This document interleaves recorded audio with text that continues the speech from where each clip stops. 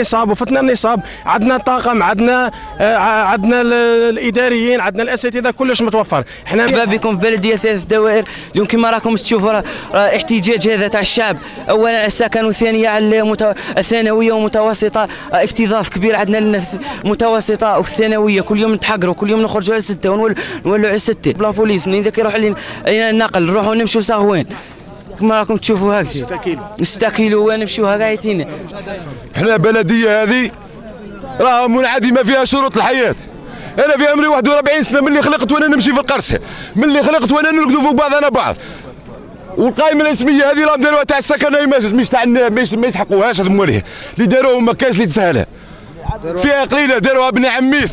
شاف دايرة هنايا يد... وش راح نقول لك؟ يا خويا خلاص. أنا محكوم والله فضنا.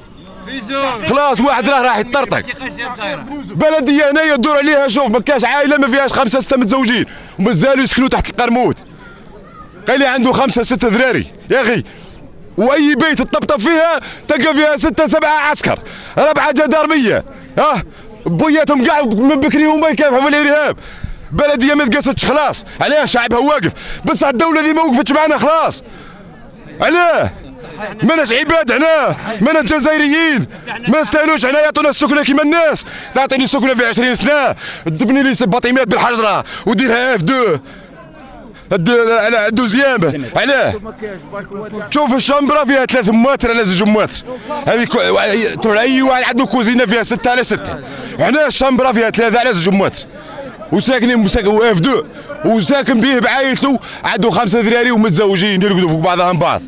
قايل أنا عندي خويا عنده 11 سنه يرقد في حانوت. خلينا من الناس الاخرى ما نحكيلكش عليها خلاص. قال لي راه والله قايباني في الزوبيه نديك هاي الشركة راحت الناس هاي مازالت ساكنة ثم في البراريك تاع الشركة وروح شوف بعينك دور.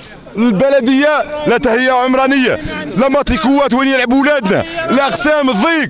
ولادنا البارح حتى للسبعة تاع العشية جاوا البنات من ليكول. من سقوان علاه هذا الشيء هذا. ماناش عباد هنا باش شوف بلدية بالدائرة بكلش. راه الرشوه عيني عينك. الرشوه عيني عينك. وبن عميس. حنايا كما راكم تشوفوا الصورة راهي تغني عن التعبير. سكان بلدية ثلاث دوائر دائرة صغوان ولاية المدية راهم في احتجاجات سلمية. احتجاجات سلمية سلمية سلمية. بمعية مصالح الأمن. السكان هذو عندهم عدة مطالب. المطلب الأساسي المطلب الاساسي المطلب الأساسي هو السكن. الناس هذول اللي راهم خارجين اليوم. المشكل تاعهم هو القائمه السكنية اللي خرجت ما مش راضيين. المشكل الثاني اللي عندنا هو مشكل العقار.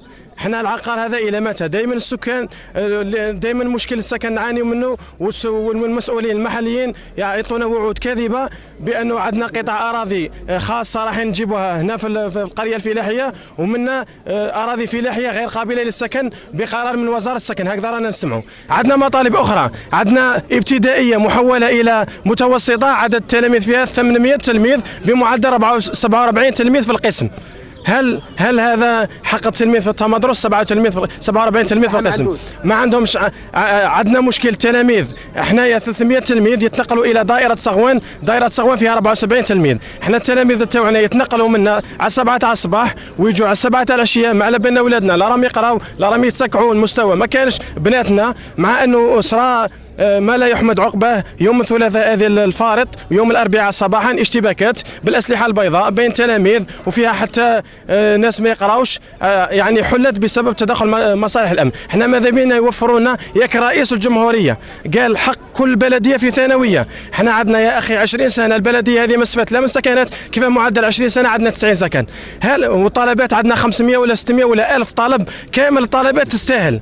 ألف طالب سكن تمد لي 90 سكن في في مدة 20 سنة. هذا هذا الأمر الأول اللي نركزوا عليه. المتوسطة أعطونا متو... كيفاش بلدية تأسست مع ولاية البليدة في في نفس الفترة ما تستفادش من متوسطة.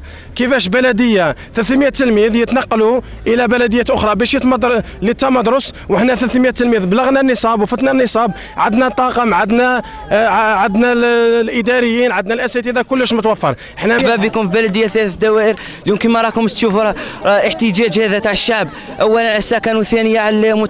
الثانوية ومتوسطه آه، اكتظاظ كبير عندنا المتوسطه والثانويه كل يوم نتحقروا كل يوم نخرجوا على ستة ونولوا نولوا على ستة. بلا بوليس منين ذاك يروح علينا النقل نروحوا نمشوا ساهوين كما راكم تشوفوا هكذا. 6 كيلو 6 كيلو ونمشيوها قاعدين إحنا بلدية هذه راه منعدمة فيها شروط الحياة. أنا في عمري 41 سنة من اللي خلقت وأنا نمشي في القرصه من اللي خلقت وأنا نرقدوا فوق بعضنا بعض.